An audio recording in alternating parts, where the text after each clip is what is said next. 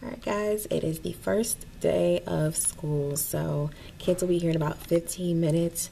Um, and yeah, we'll see how it goes. We'll see if everything goes according to plan. Usually not, but that's okay. I'm excited. Sixth year. Let's do it. Do it first day.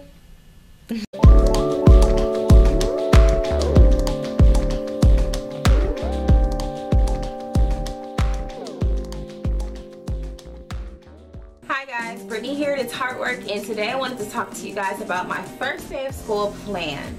So I just basically figured it would be cool to share what I do on the first day. I'm not actually going to get into specifics of like procedures and how I teach them and not a whole lot of why. I just wanted to share with you like what activities I do and I'm doing this because I'm hoping it's a mutually beneficial thing. I am like at a loss for activities that are fun yet structured on the first day. So maybe if I share this with you guys, you guys will be able to give me some feedback and help me figure out what activities I could actually throw in on the first day that would actually be worthwhile to do, yet also leave kids feeling like they had a really awesome first day of school. So to get started, I'll begin by saying that I teach fourth grade and just to let you know about my school schedule so you understand timing. Um, school starts, the students get there at 8.45 and then it ends at 3.40. Like that's when everybody's on the buses. So just to get started, the first thing that students do when they walk in the door is that they come in and they sit down and there is a word search for them to do. I get my word searches from I think it's A to Z Tool Maker or A to Z Puzzle Maker, if I'm not mistaken. And they have a really cool template that I'll link below where you can basically change the shape of the word search so that it's they like have hearts, stars, smiley faces, but I have students do that and the word search has the names of all the students in our class as well as myself. And so they get to know names from the very beginning. And there's also structured work. Moving on, um, that's from about 8.45 to 8.55. And so that's just something silent for students to do. Then I begin to talk and then I introduce myself. And usually the announcements cut me off at about 9 o'clock. And so from 9 o'clock to like 9.01, and they're really quick we stand up, we do the pledge, and then after that, I transition students into talking about our attention signal, which are chimes. So I have a quick discussion about chimes, I model, and then we move into morning meeting. At this point, it's about 9:10, and at about 9:10 we move into morning meeting. And I'm not gonna get into the specifics of like what I teach, but I do show students how to greet each other. Um, and then we move on from greeting to like I give announcements and then I briefly talk about sharing and how we share at morning meeting. So I just do those few things and then after that we move into an activity. Now we are at the morning meeting circle for a very long time on the first day. So from about 9.10 to about 9.40, 30 minutes. Students are sitting down, they're circled up and we're talking about a lot of things, we're modeling a lot of things. Now about 9.40, the next thing that we do is a classroom lineup game. So the first thing I have students do is I have them line up by height. And of course I talk to them about how to move about the room safely. But we line up by height. Next we line up by birthday. They line up by birthday. And then I give the students a challenge and I have them without talking line up by um, last name in ABC order. And this is how I have students um, this is how I teach students how they'll be lining up for the rest of the year. So then students will line up. At this point, the game takes about 10 minutes and it's a, a chance for students to move. And then um, once we do that, I tell students this is how they'll line up and then I go over hallway procedures with them. So I go over perfect 10, 10, 10. um, which is one line, zero noise. And so that's how students walk throughout through the hall. Um, they walk in one line and zero noise. And then we get to practice because at 10 o'clock, students will meet with the principal. And the principal will go over cafeteria procedures as well as recess procedures. And so from about 9.50 to 9.10 we talk about 9.50 to 10 o'clock we talk about a perfect 10 line and then after that um, students will go to the cafeteria to talk to the principal she'll discuss with them how we throw things away what we do at recess how we line up and then they all get to go out. This is the, the talk lasts about 10 to 15 minutes. And so students get to get up they go outside, they run around for a little bit, and then we actually practice at the grade level how to line up for recess and how to come in when you're buying your lunch, when you've packed your lunch, which way you go, so we model all of that.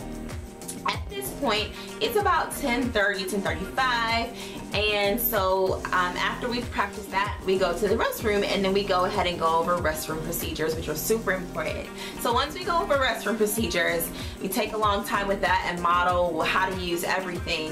Um, I take students back upstairs and then it is time for like one of their most favorite parts, which is unpacking their supplies. So I use a PowerPoint um, to just go through step by step how to unpack supplies. So we get all that unpacked, we get all that organized, and we usually don't finish within the time because it takes about 40 to 45 minutes. But um, at that point at 11.30, students have to stop and we go to specials. So it's the middle of the day and um, we are, well, yeah, middle of the day. We're at the point where students have already unpacked their supplies and it looks a mess because they're at their specials classes right now, they're unified arts classes, and so I'm just gonna show you the craziness. I mean, it's not that crazy, I guess, but I mean, this is organized chaos because we know what we're doing. But, yep, got the trash cans here and middle of the day, so we're just organizing some supplies. So they go to art for an hour. I pick them up from art after an hour and take them to recess. We, again, use this time to model perfect lines and all that stuff. Um, they go to recess and then they go into lunch and after that I pick them up from lunch. We do restroom procedures again before we head upstairs and then we head upstairs and like I said we usually have to um, we usually at that point have to finish up our supplies. So once we finish up our supplies, then we move on to something called quiet time. For the first day of school, we just make it to where students get to decorate their name tag for quiet time. And I got these really cool name tents on Teachers Pay Teachers for free. I will link them below and that's what I use for students to um, that's what I use for students, or that's what students decorate. that's what students decorate are those name tents on the first day of school. So we start to decorate those and they're just decorating them at this point. You'll see if you click on the link, the name tents have different activities, but we use those for other days. So they decorate the name tents and we do that for, um, let's see, at this point it's about probably around two, around two o'clock when we start. So oh, anywhere from 1.45 to 2 o'clock, depending on how many supplies we have left to put away. And so they start the name tents. We do the name tents. Um, and I just have that as a quiet time for students to decompress. They come back from recess and it's just a calm activity and a way for me to see too what kind of quality work that they will do. So in addition to the lineup game, which is a way for me to test to see like who's a good communicator and do they follow instructions, who's a leader, who's more quiet, the name tents are also a way for me to see who takes their time with their work and what good quality work looks like to them. So I use that throughout the year, but that's like my first assessment of their work. And so then after that, since it's the first day and students are still on summer mode, we go ahead and we do extra recess. So we do extra recess for about 15 to 20 minutes. That's from about 2 o'clock, 2.05 to 2.20 to 25-ish. So we have extra recess. When students come back from extra recess, then I do a read aloud. So I like to do fourth grade rats. Fourth grade rats is a cool story about a kid who thinks in fourth grade you have to be all big and bad, but then learns that obviously you don't have to be that way, that you can be who you are. Um, so I start a read aloud with the students. We do a read aloud fourth grade rats. And then after fourth grade rats, it is usually about, um, let's see, about 245 to 55. So then I get into planner procedures and so it's super important to go over how to fill out a planner, you know, what the expectations are because most students will try to short shorten the words and trust me, students ask me every year like, can I instead put this? And so we go over planner procedures and how to do that. And usually on the first day, we start dismissing early. So I try to get the students um, to the point where they understand what the expectations are at the end of the day.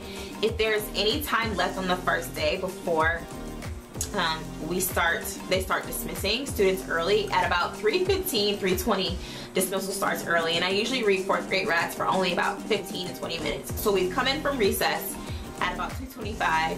I'll record three rats for about 15 minutes so that means it's about 2.40, 2.45. I'll go over planner planner procedures for about 10 to 15 minutes and then we've got a little bit of time left and in that time I would have um, what's called a closing circle. So students come to the carpet. This is new for me this year, but I think I'm gonna love it because I've tried it before um, during the school year.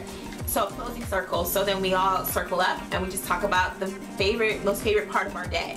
So that's pretty much how the first day goes for me. It is usually like a whirlwind and it also is a lot of me talking at the students. Um, I'm just curious, like what do you guys do to make it fun? Like what do you guys do? Let me know what types of things you do to make it interactive and lively for kids. I would love to insert some more fun things that are structured but also not out of hand. So that's my first day guys in a nutshell. Obviously my plans are like a mile long for it. There's a lot more that goes into what I just said. But I just kind of wanted to give you guys an idea, idea, not idea, idea and share that with you. So guys, thanks so much for watching. Like, comment, subscribe, share with me your ideas and I'll share with you back. Thanks for stopping by. Guys, I'll see you next time.